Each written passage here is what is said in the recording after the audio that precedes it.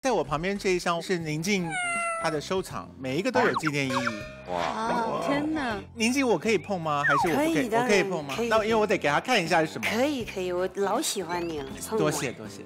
我喜欢这个那个爱丽，尾巴。哇，它是《爱丽丝梦游仙境》里面那个对，猫就是吗他，就是他。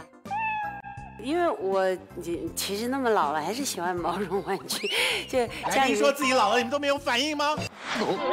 谁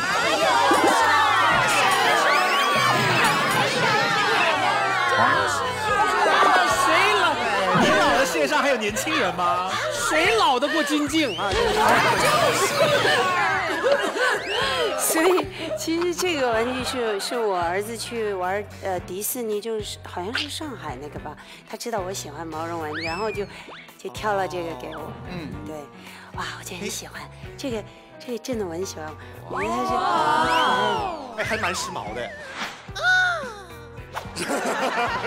他就是很古灵精怪，很很很喜欢他的表情，是很可爱。很搞，对对对。既然提到了儿子大人的话呢，有件事情我真的忍不住要询问一下。您知道宁静小姐在她的微博上面写了很多有深度的内容，文笔很好，然后耐人寻味。嗯，宁静说她儿子问她婚姻是怎么回事，有这么一则吗？还记得吗？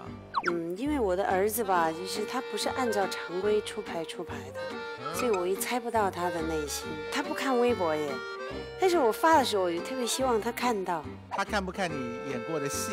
他也不看。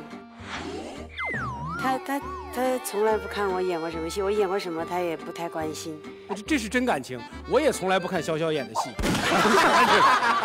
她是你妈吗？因为我不是那种妈妈说，你一定要看我的作品啊，你要讲。有时候我也会了，因为作为母亲来讲的话，都会有点啰里吧嗦的。我后来发现我也有点絮叨了，就是没因为我有。啊，这不不用配合了 你做的很好，你尽尽责尽责 继续。就我呀，笑死我！我说到哪儿了？你有希望他看一下？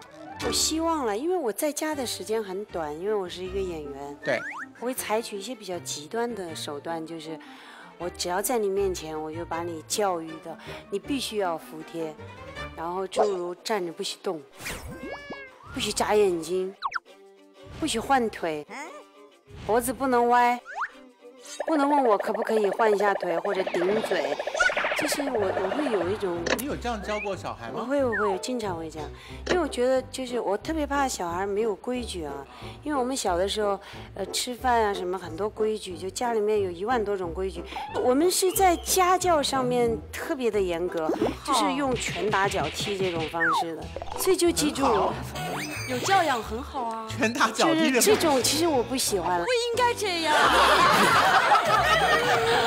拍马屁拍到马腿上。